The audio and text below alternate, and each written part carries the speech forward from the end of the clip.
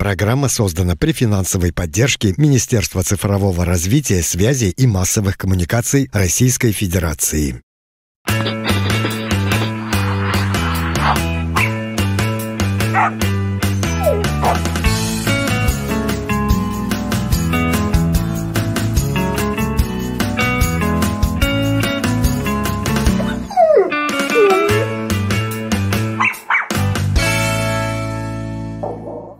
А, доброго дня, это телеканал «Самара ГИС», и вы смотрите программу с необычным названием «Хочу домой». Необычным, потому что программа больше посвящена животным, у которых сложная судьба. Судьба бродячих и брошенных собак и кошек. Мы пытаемся вместе с вами решить эту проблему. Пожалуйста, не оставайтесь в стороне. Итак, у нас сегодня в гостях Марина Горбовенко, генеральный директор Самарского общества попечительства над животными и директор приюта для брошенных животных «Твои друзья». Здравствуйте. Здравствуйте, Марин. Марин, а, вопрос, наверное, главный. А, сейчас жара. Довольно-таки сложно переносят люди эту жару. А как переносят а, ваши питомцы, которые живут в приюте? Но поскольку наши питомцы все живут в помещениях с климат-контролем, у них у всех есть кондиционеры. Да вы что? Да, все животные у нас живут с, с кондиционерами, поэтому они переносят достаточно легко. Но если кто-то держит на своем участке у себя дома собаку на улице, вольер, пожалуйста, закройте от солнца, э, должна быть крыша обязательно, поставьте какую-то емкость, чтобы собака могла купаться, охлаждаться и почаще мочите территорию в вольере вокруг нее. Вот. А у нас, у нас, слава богу, все хорошо, с Божьей помощью, все с кондиционерами в комфортных условиях жизни. Слушайте, ну отлично, отлично. Довольно-таки редко встретишь даже у владельцев, э, которые содержат породистых собак, э, вольеры или там дома, где, ну, вольер, где размещены кондиционеры. А у вас сегодня собака. Расскажите, кто это? Такое прекрасное, милое создание. Да, это замечательная девочка. Зовут ее Криста, от слова кристаллик, потому что у нее действительно кристально изумительный характер. Она сверкает, она у нас такая, характер у нее блестящий. Да она и сама у нас вон какая замечательная девочка. Ей 4 месяца уже. Это будет собака ниже среднего размера. И вот сегодня мы ищем ей хозяина. Соответственно, если кто-то хочет познакомиться с ней поближе, узнать такую замечательную девочку, девушку. Ну, Вы только... знаете, я сейчас э, наблюдаю за ней, совершенно удивительное это э, спокойствие, и самое главное, я так понимаю, что очень хорошая крепкая нервная система, потому что вот так вот э, находиться в незнакомом месте и спокойно лежать, и спокойно... Вы ничем ее не поили? Ни в коем случае. Кстати, очень часто нам на выставке кто-то говорит, вы что-то им дали, у нас нет денег просто на такие препараты. Вот. Просто она лежит на своей подушечке, она чувствует, что я рядом, и, как видите, я держу руки, да, как в лежанке. Mm-hmm. Да, и, да, соответственно, да. она понимает, что она в безопасности, что она под моей защитой. Именно поэтому ведет себя достаточно свободно и спокойно. Угу. А, так, я так понимаю, что мы э, сейчас пытаемся вот это милое создание, собачку, пристроить. Обращаю ваше внимание, уважаемые зрители, что э, сейчас у нас на столе лежит вот такой замечательный щенок, э, которого мы пытаемся пристроить. Э, есть у вас есть вопросы по поводу э, ну, того, чтобы взять этого щенка э, к себе домой, пожалуйста, звоните 8 927 686 0790. Это мой личный телефон, и я, конечно, вам дам телефон э, приюта, только единственное, не забывайте говорить. Э, Сегодня вы смотрели а, программу с участием приюта «Твои друзья» и Марина Горбовенко. А, Марина, э, сколько сейчас у вас собак? Ну, у нас всегда в районе 100 голов, и на сегодняшний день 55 э, из них это собаки. А остальные? Кошки. Кошки.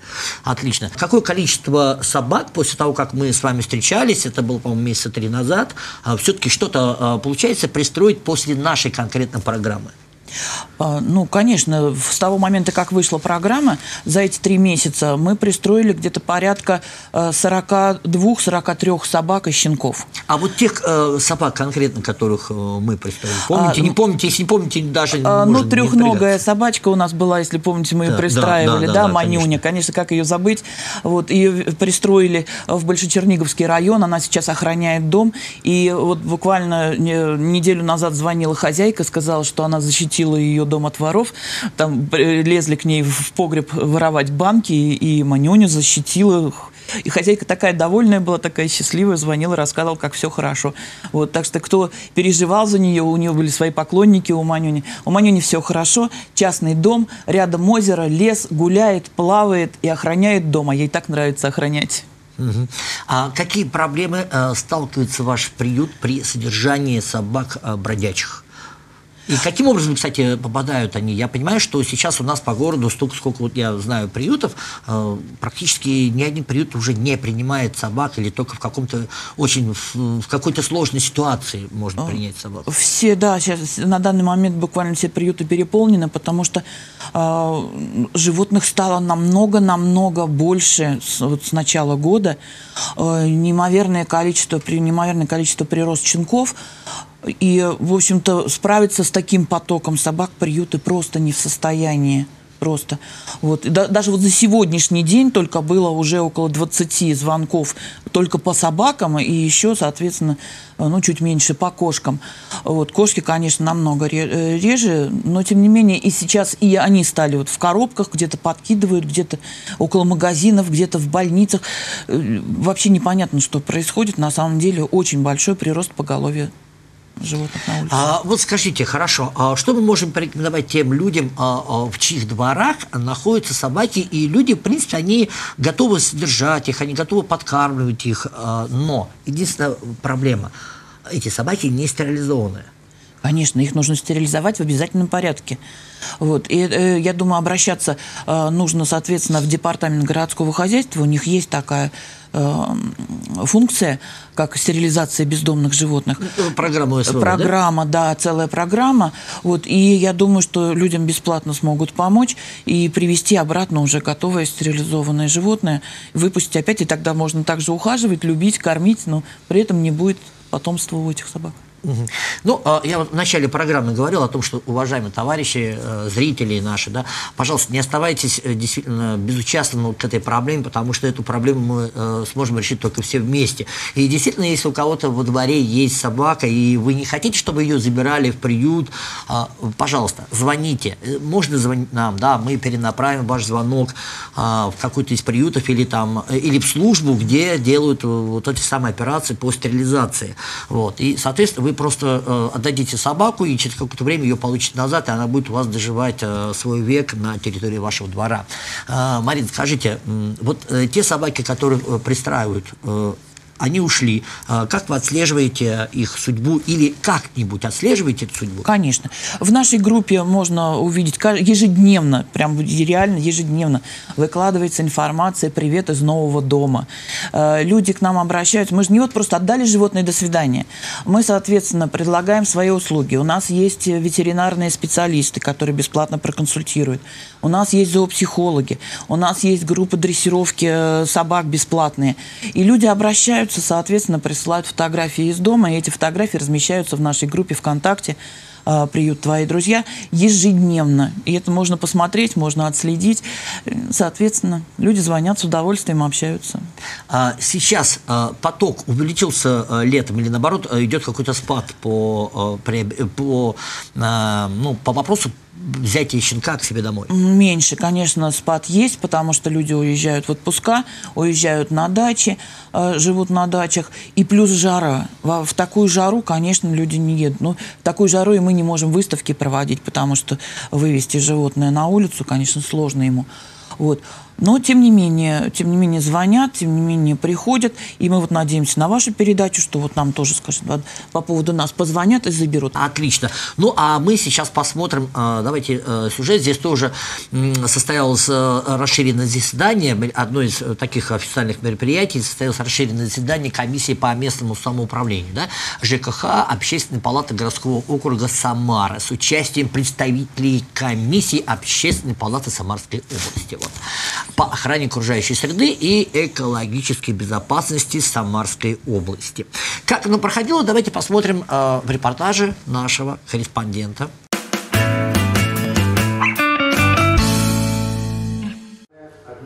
Проблеме безнадзорных животных вновь вернулось самарское сообщество. Варианты решения предлагали общественники, ветеринары, защитники животных и собаководы. Среди них и сотрудник телеканала «Самара ГИС», кинолог, ведущий передачи «Хочу домой» Виталий Рылеев. Ежедневно он пристраивает найденных на улицах города животных в добрые руки. Однако решить проблему глобально, отмечает Виталий, можно только убрав с улиц города прекрасную половину четвероногих. То есть самок. В каждом районе э, должна быть мобильная группа из двух-трех человек, которая будет э, реагировать моментально на звонки э, людей с этого района, именно с этого района. Вот, и бригада будет выезжать э, именно отлавливать э, тех собак, эту суку просто надо изымать из этой стаи. Все.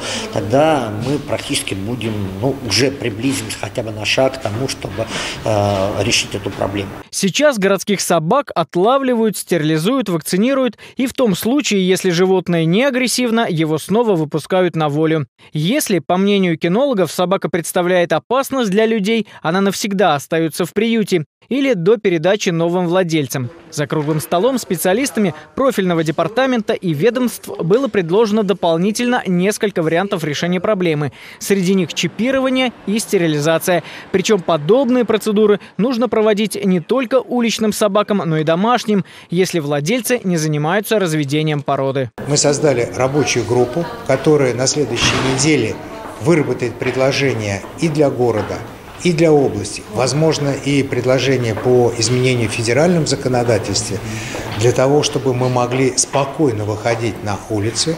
По мнению экспертов, федеральный закон необходимо дополнить. Владельцы собак нередко проявляют безответственность. Поправки в ФЗ уже внесены. Будут они приняты Госдумой или нет, покажет время.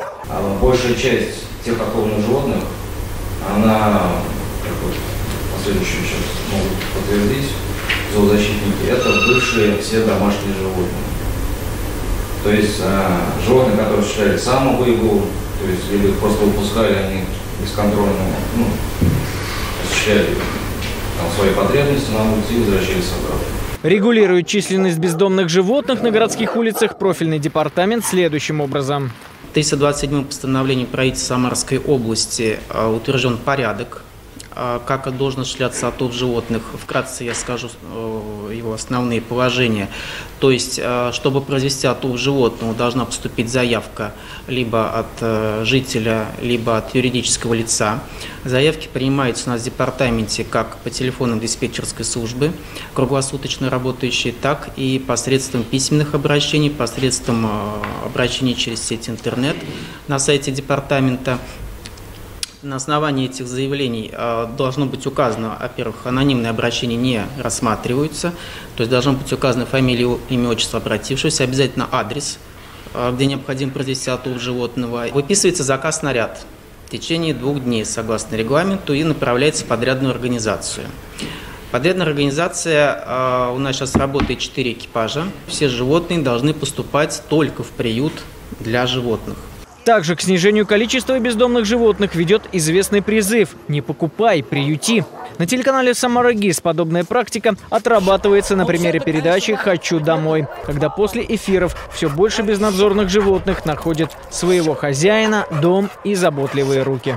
Там с разных точек зрения эта проблема вообще взаимодействия человека и животных, она рассматривается. Уже 36 животных нам с помощью только этой программы удалось пристроить. И также э, в, в программе мы показываем уже тех животных, которые обрели, так сказать, семью, и они ну, стали нормальными домашними животными. Все прозвучавшие в ходе обсуждения предложения будут обобщены и наиболее интересные впоследствии реализованы.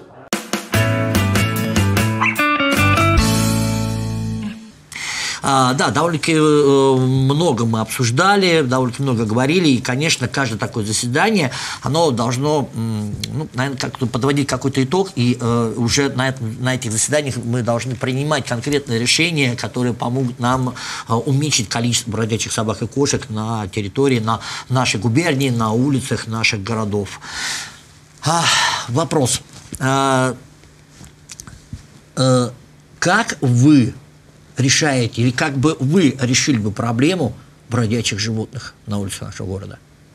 Ну, я думаю, здесь в первую очередь э, нужно, чтобы все домашние животные были обязательно чипированы, зарегистрированы на владельца, э, ввести... Подождите, домашние животные, ну вот я э, по большей части не вижу собак, вот давайте немножко поспорим, я не вижу собак, которые породистые имеют такую породную какую-то основу, да, в основном же собаки беспородные. На улицах да. вы их не видите, а я вам скажу почему. Да. Потому что их быстро подбирают, приводят в приют, и из приюта быстро забирают.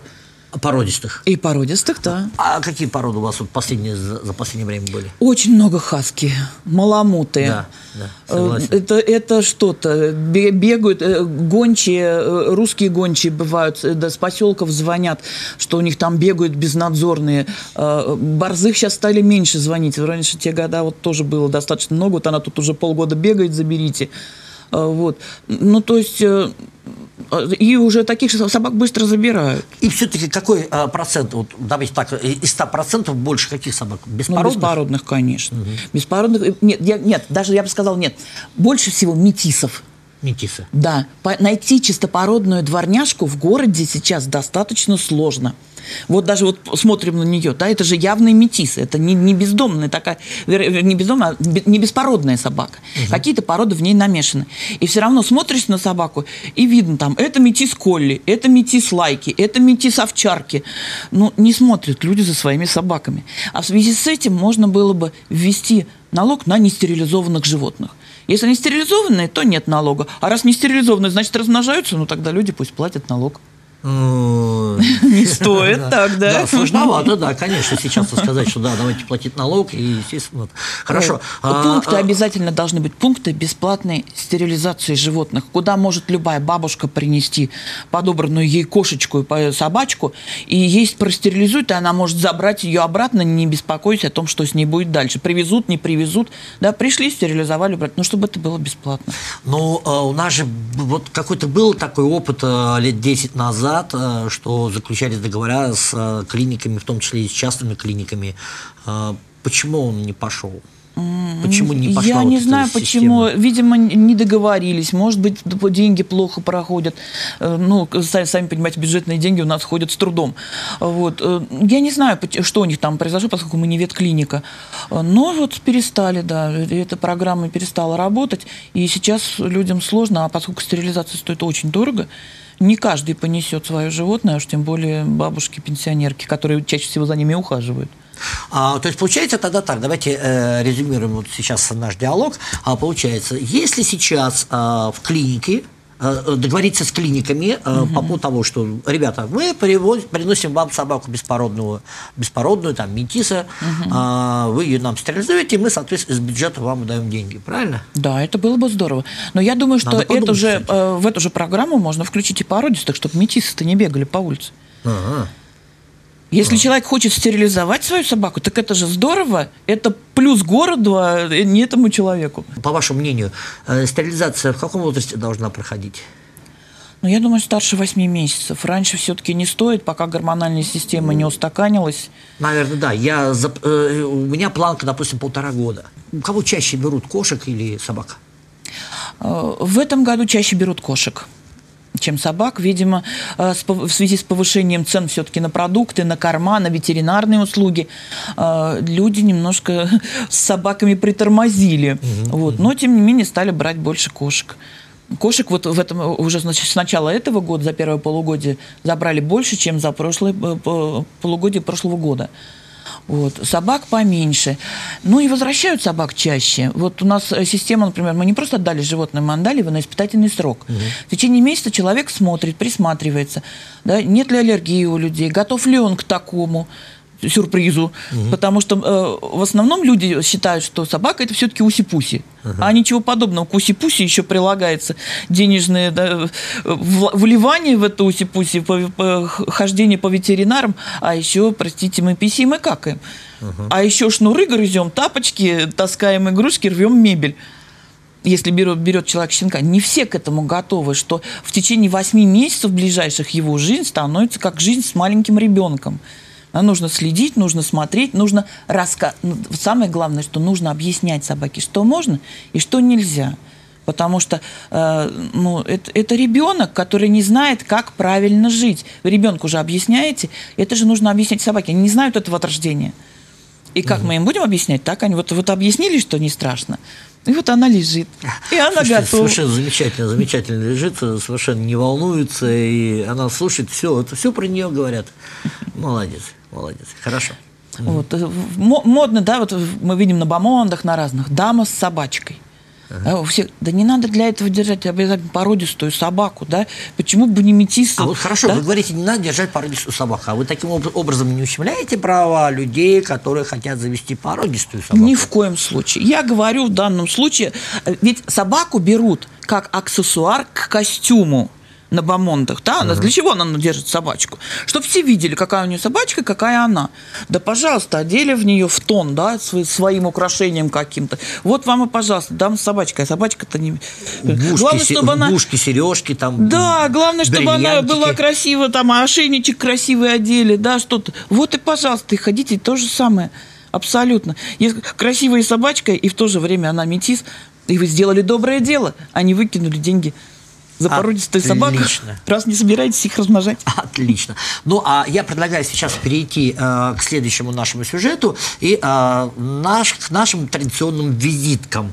Э, к визиткам. И в этот раз только э, одна собака, которую вы предлагаете э, из приюта, да, и э, несколько, и три кошки, и три кошки. И сразу обращаю внимание, уважаемый зритель, пожалуйста, когда вы звоните э, и просите адрес и телефоны приютов, где э, вам понравилась собака или кошка, запоминайте, пожалуйста, название приюта. Название мы указываем в титрах. И обратите внимание, что вот собачка, которая у меня на руках, и та собачка, которую мы сегодня покажем на телеэкране зрителям, одного возраста. Ага, все. Ну что, пожалуйста, давайте смотрим. Эта мохнатая хвостатая девочка хочет найти себе новый дом и доброго хозяина. Ей чуть больше четырех месяцев. Похожа на восточноевропейскую овчарку. Зовут ее Мира. Совсем недавно ее забирали в дом. Но, как оказалось, хозяева не готовы были к продолжительным и частым прогулкам. И вот она снова в приюте, снова ищет себе хозяина. Изумительный характер действительно овчарки. Она э, мыслящая собака она думает, она пытается быть полезной, она пытается быть послушной, она буквально смотрит в глаза и спрашивает, что ты хочешь, я сделаю все. Угу. Вот. Она очень спокойная, как вы видите, да, в таком возрасте уговорить щенка лежать на столе большая проблема. Но она чувствует, что мы этого хотим, и она это делает. Мира хочет уйти из приюта к своим новым хозяевам. Сотрудники надеются, что Мира ненадолго задержится в стенах приюта твои друзья. Мира ждет своего нового владельца. Звоните по телефону телекомпания «Самара ГИС» 8 927 686 0790.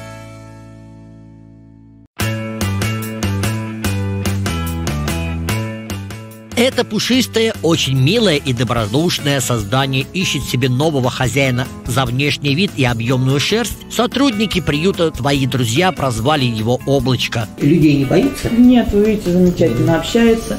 После вопроса как будто бы понял, что нужно показать свою доброжелательность и лояльное отношение к постороннему человеку. Мы заметили, что есть схожесть с котом кардинала Ришелье из мультфильма похоже на кошку кардинала.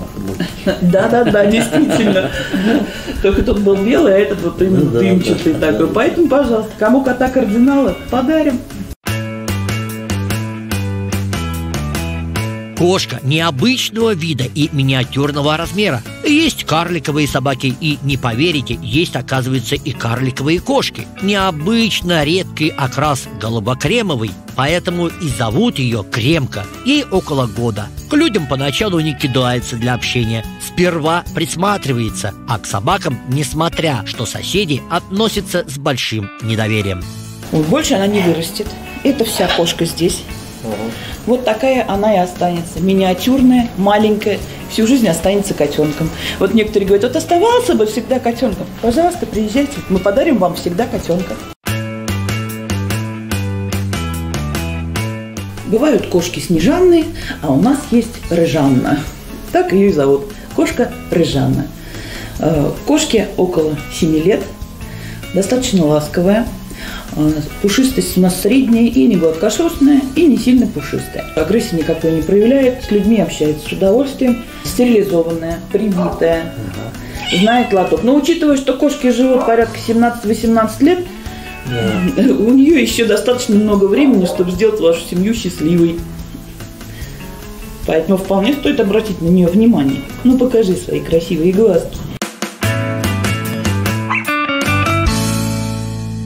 Я надеюсь, что э, вот э, те видеовизитки, которые мы показали, э, они помогут вам в выборе собаки или кошки. Ну, знаете, я бы взял бы собаку и кошку, но, к сожалению, не могу, потому что в силу своей работы, в силу своей занятости, получается, с одной работы на другую, и вечером еще гулять с собаками. Вот дети подрастут, тогда уже возьмем обязательно собаку и еще и кошку. Вот.